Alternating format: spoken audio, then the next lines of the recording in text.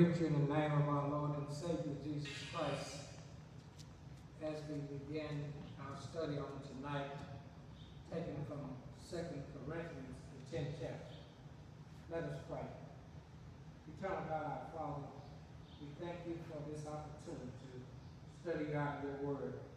We pray even now that you would let your word find roots in someone's heart that we might be able to do your bidding. We pray for the leadership of our church all churches that's open in your name under the banner of Jesus Christ. We ask it all in his name. and We pray. Amen. In our discussion on tonight, we will be discussing Second Corinthians chapter 10. In the first nine chapters, Paul is writing to the majority of the congregation who love him and appreciate his work. In the remaining chapters, he turns his attention to the ones which was their opposition to his ministry. They was the one that was professing Christ in the faith, but actually they was false apostles. They was wolves and sheep clothing. One of the main jobs of a pastor is to protect his flock.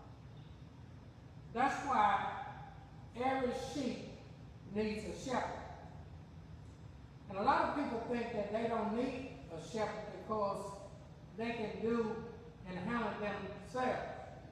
But I must remind you that a wolf don't care nothing about your title, nothing about your influence, and nothing about the way you look. He will eat you and your title if you're not careful. So, Paul, in chapter 10, three things that he wanted to do. In this chapter, Paul defends his apostleship. In terms of his attitude, we're going to cover the first six verses, and his authority, verses 7 through 11, and his divine commendation, verses 12 through 18. Now, in verse 1, Paul says, Now I, Paul myself, beseech you by the meekness and gentleness of Christ, who in present am based among you, but being absent am bold towards you. Now indicates a change of subject, and there is also a change in Paul's tone of voice. We must know that boldness and lowliness can be of the same person. And we can look at the life of Jesus because he was lowly and meek, but he was also bold when it comes to getting someone straight, as cleansing those that came in the temple selling and doing things that weren't godly in the temple. Now, we must know, and someone had said, like in chapter, in verse 2, he says, I beseech you that I may not be bold when I'm present, with that confidence, wherewith I think to be bold against some which think of us as we walk according to the flesh. They said that Paul talked his big talk while he wrote his letters.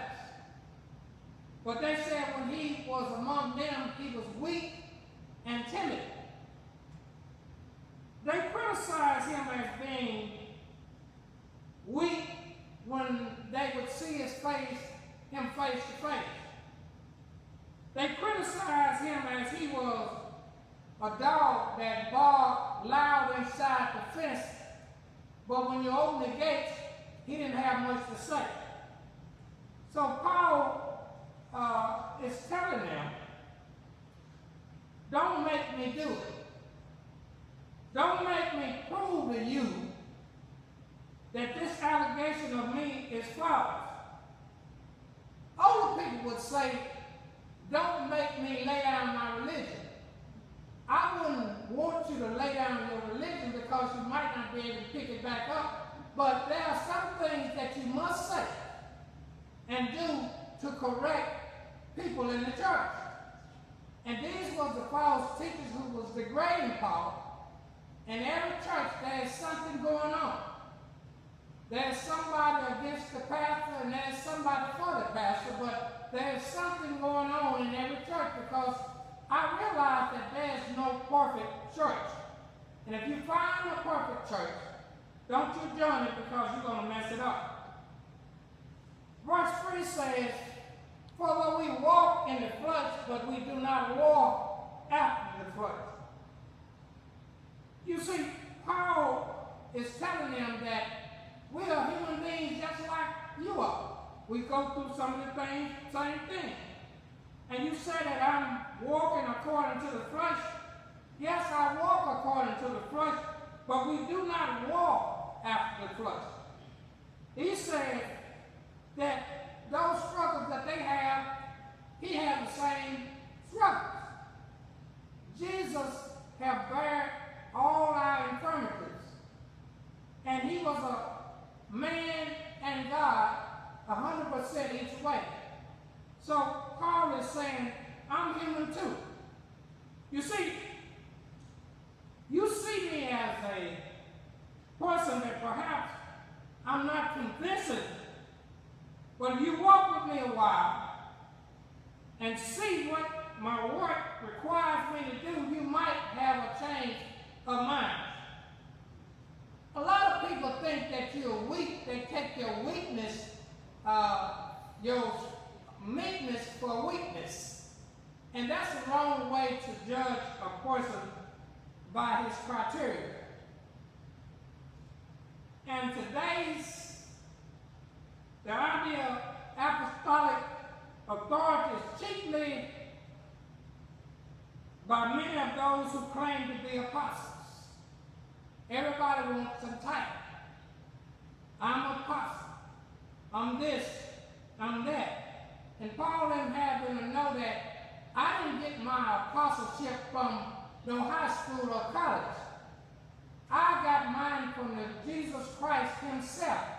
And that makes me and gives me the authority to discipline you when I need to do so. Verse 4 says, For the weapons of our warfare are not carnal, but mighty through God to the pulling down of strongholds. Verse 5 says, Casting down imaginations and every high thing that exalted itself against the knowledge of God, and bringing it into captivity, every thought to the obedience of Christ. When Paul fought, his weapon was not material, but spiritual. His weapon was suited for spiritual war. Because after all, we wrestle not against flesh and blood. So Paul understood that, that if you're going to fight a spiritual battle, you need spiritual weapons. And he uses, in verse 5, he says, casting down imaginations, every high thing that exalted itself against the knowledge of God, and bring it into captivity every thought to the obedience of Christ. Here Paul uses a military metaphor. Here they say they are opposing, they have opposition to Paul's work in the gospel.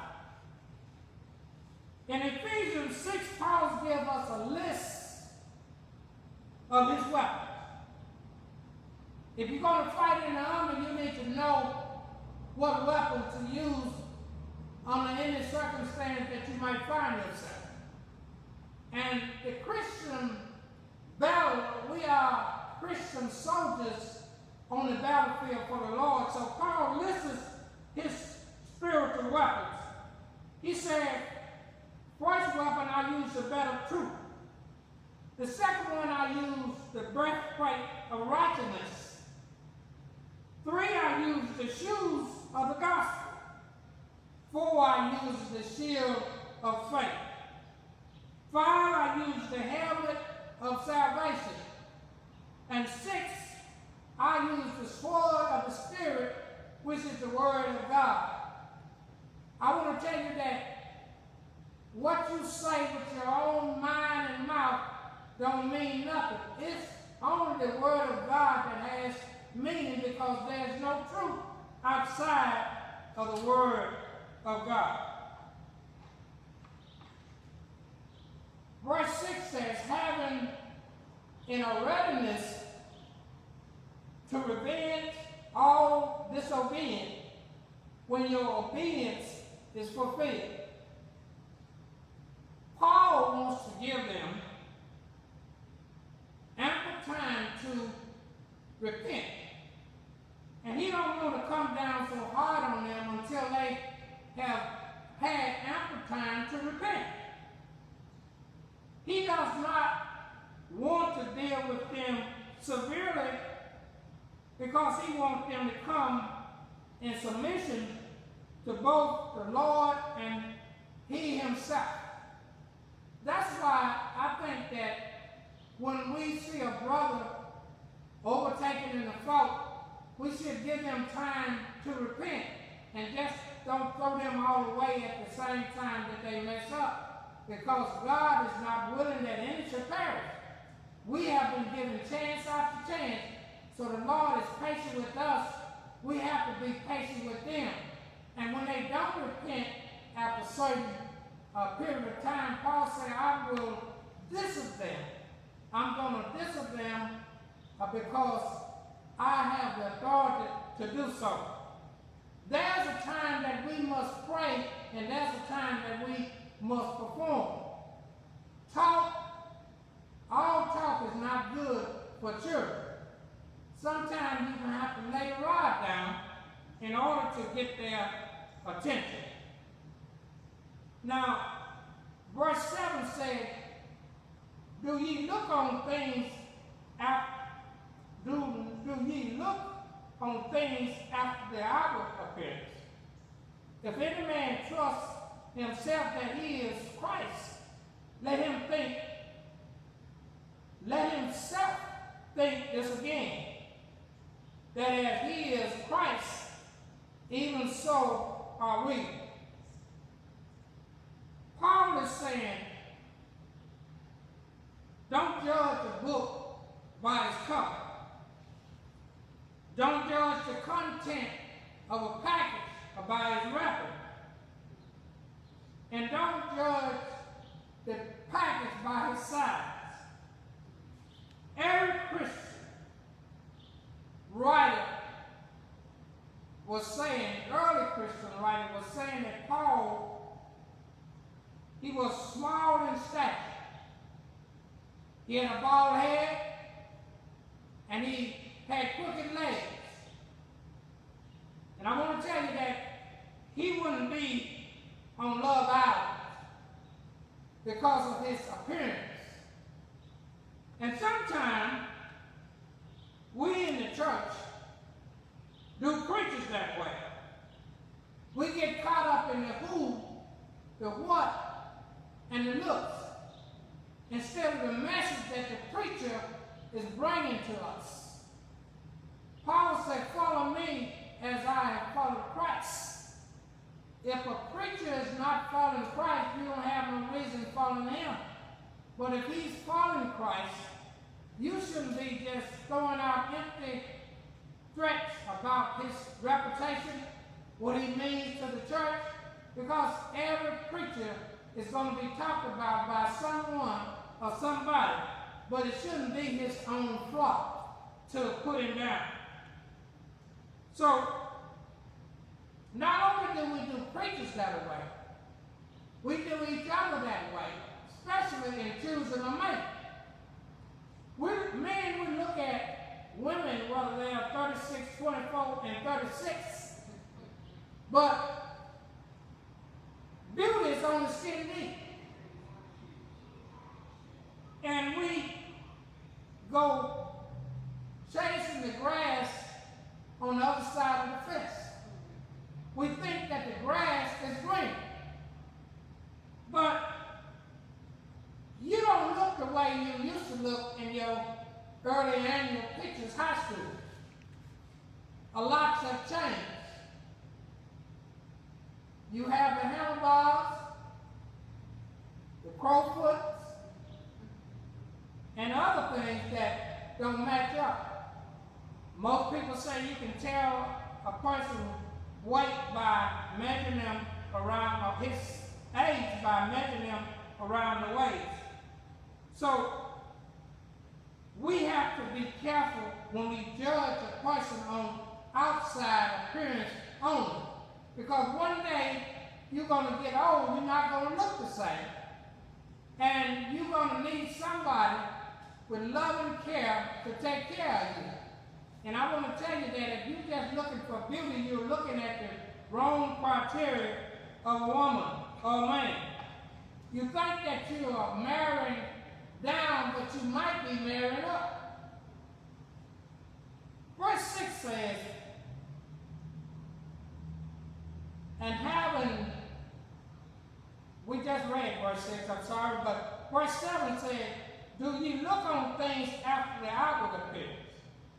If any man trust himself that he is Christ, let himself think again, that as he is Christ, even so are we.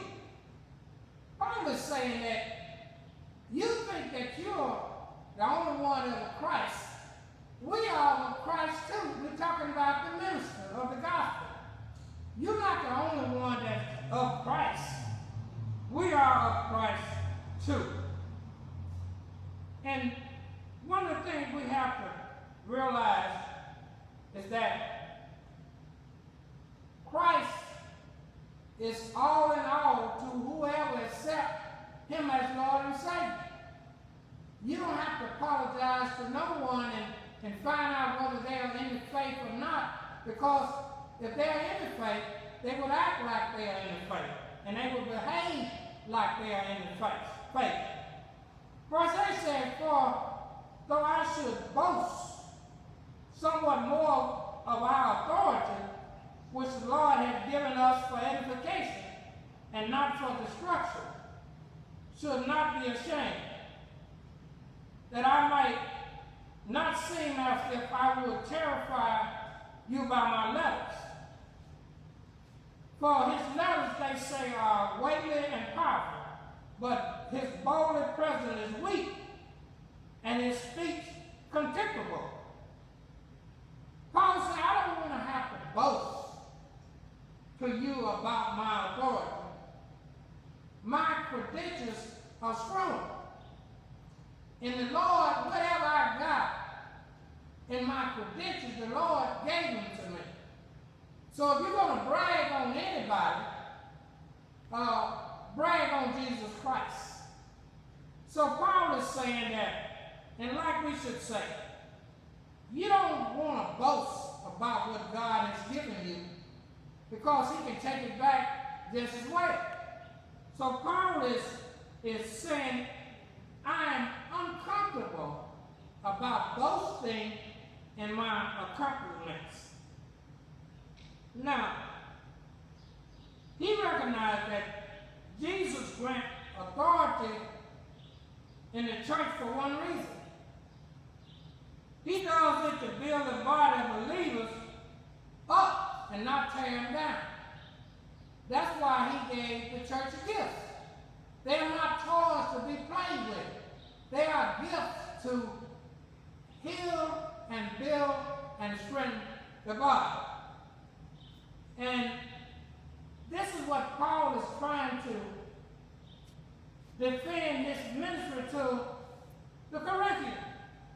Because a few people was there, and this is the one that he's talking about, was trying to degrade Paul and, and, and make him seem like he was an impostor.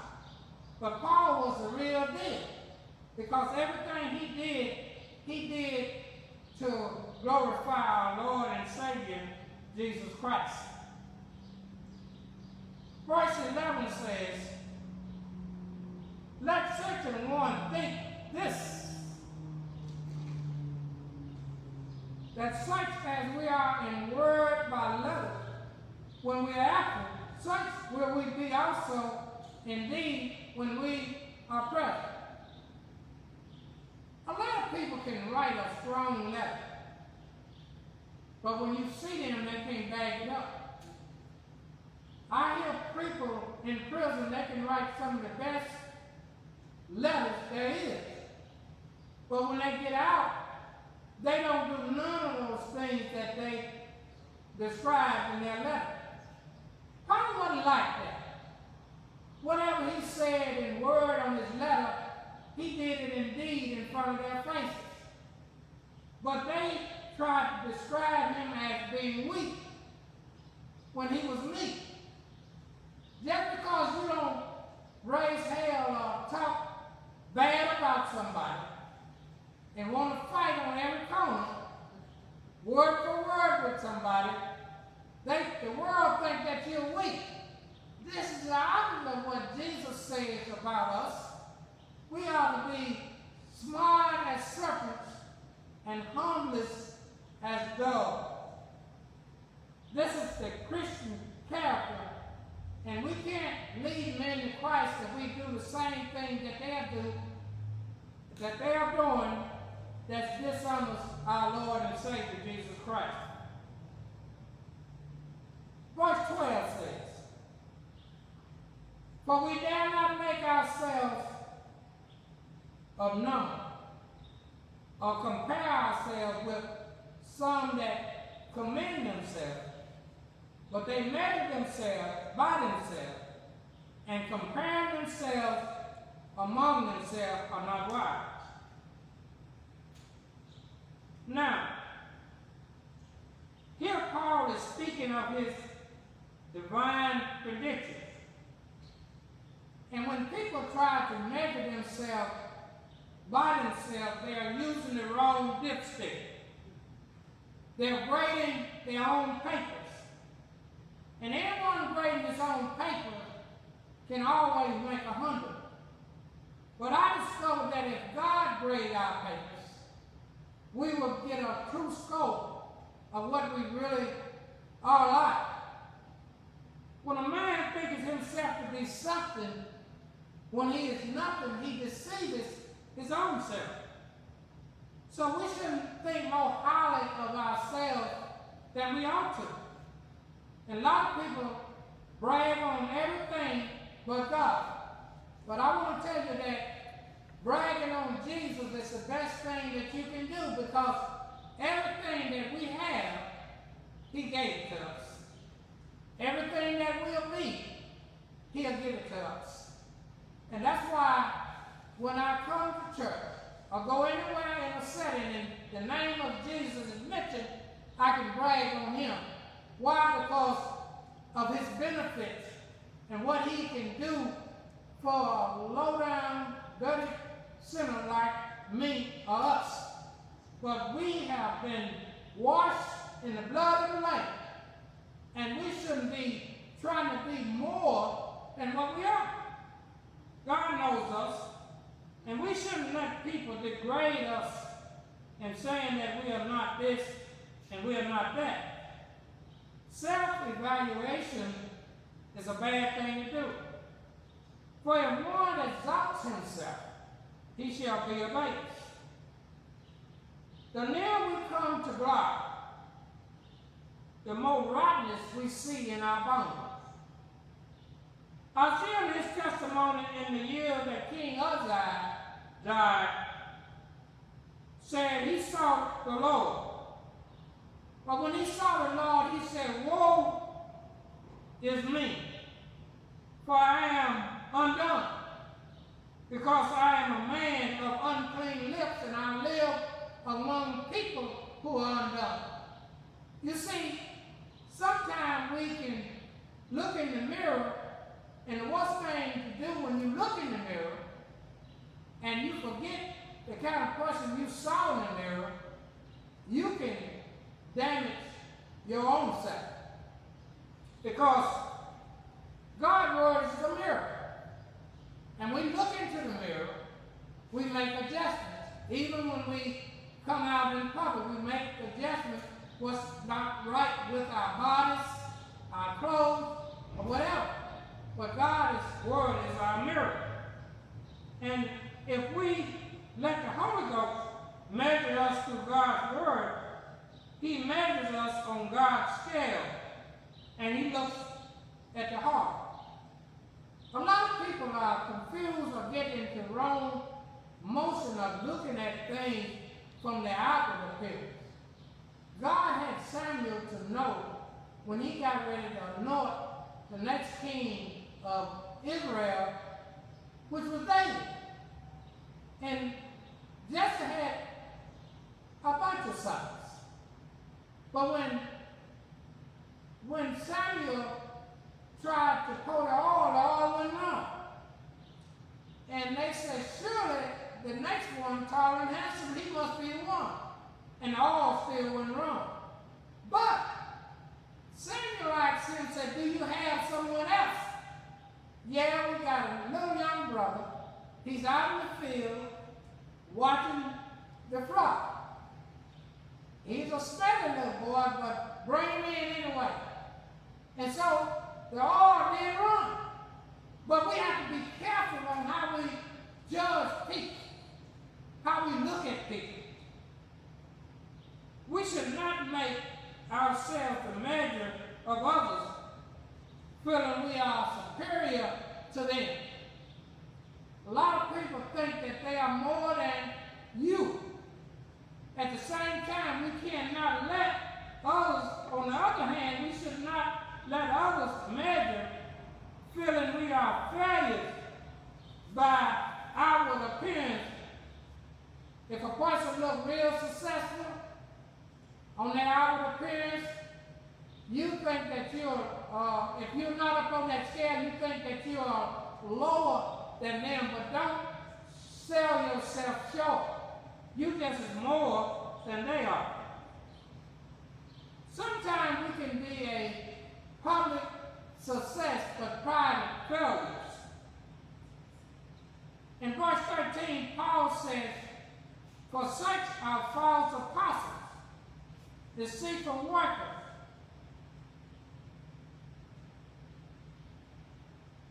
verse 13, I'm sorry, but we will not boast of the things of our measure, but according to the measure of the rule which God has distributed unto us, a measure to reach even in you. Don't boast about your accomplishments, because boasting is a bad thing to do. Verse 14 said we stretch not ourselves beyond our measure, as though we reach not unto you, for we are come as far to you also in preaching the gospel of Christ. We have, Paul has been to many places establishing churches. Now he's in Corinth, and he's there for their own protection, their own service, in order to enhance their relationship with Christ. And he wasn't afraid to go out and travel in places that he mostly was stoned in a lot of places, rejected by others, because he was doing all this to get to them to impart some divine truth of our Lord and Savior Jesus Christ. Verse uh, 15 says, he says, for we for not boasting of the things without our measure, that is, of other men's labor, but having hope. When your faith is increased, then we shall be enlarged by your by you according to our rule abundantly. Paul was not interested in riding on someone else's coattail. And he said, I'm running in my own lane. A lot of people are running or trying to run in someone else's lane. And they're trying to build on another man's foundation. Paul said, I don't have to do this. I got my foundation laid. And I don't have to be interested in another man's lane of riding his coattail. The only coattail I'm riding is Jesus Christ and him crucified. So verse 17, 16, 17, and 18. To preach the gospel in the region beyond you, and not to boast in another man's line of things made ready to our hand. But he that glories, let him glory in the Lord. For he that glories, let him glory in the Lord. When we look at Jeremiah,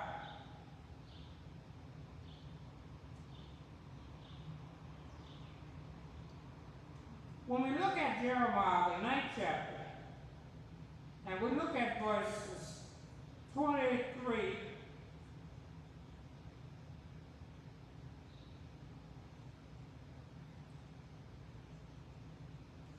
and 24. Verse 23 in Jeremiah, the ninth chapter. Verse 23 says, Thus saith the Lord, let not the wise man glory in his wisdom, neither let the mighty man glory in his might. Let not the rich man glory in his riches, but let him that glories glory in this, that he understandeth and knoweth me, that I am the Lord which exercise loving kindness, judgment, and righteousness in the earth. For in these things I delight, saith the Lord. So if you're going to glory about anybody or anything, you ought to glory about the Lord. You don't have to be rich or poor or any other. Everybody can glory uh, about the Lord. Everybody can give glory to the Lord. And this is what makes it so universal. You don't have to be of no special group, but you can give glory to the Lord. And he says, verse 18, For not he that commanded him himself is approved, but whom the Lord commands. Who are you and what do you want approval of? If you're approved by man, then you'll get a man reward. But I don't want to be approved by man, what he thinks or says about me. It's only what God says about me is important. And Paul said, I'm not going to, we're going to continue to preach the gospel in the region beyond you and not to boast in another man's line of things made ready to our hand. Paul said, when I leave here, I'm not, that's not going to stop me from preaching the gospel to other regions. I'm going to continue preaching this gospel to whosoever will. So if we're gonna brag on anybody, we need to brag on Jesus Christ and Him crucified. I hope this lesson or this discussion have shed light on something that might be able to help us in the future. But God's word is a lamp unto our feet and a light unto our pathway. The grass withers and the flower fades, but the word of our Lord shall stand forever and ever. Thank you for your attention, and let us pray. Eternal God, our Father, we thank you once again for allowing us to study out of your word. We pray even now that we will take some of the precepts and concepts Paul has mentioned in his epistle, that we might not think more highly of ourselves than we ought to. And most of all, give you the glory for the things that you have done for us. It's in your Son Jesus' name we pray. Amen.